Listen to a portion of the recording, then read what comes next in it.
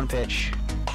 Line shot, left field, back, back, make it 11 on the year. 1-2 pitch. Oh, cold strike three, dropping in there. There McGinley at the plate. She flew out to right. Her first note. Soft ground to the right side. Off the glove of the second baseman swinging. Brummel being waved home. She's charging. She'll slide. She's safe. We're tied. Line shot, ground ball, passing a baseman. One run will score. Two runs will score. It's a two RBI single for Aaron McKinley. Templin back, the 0-2 pitch.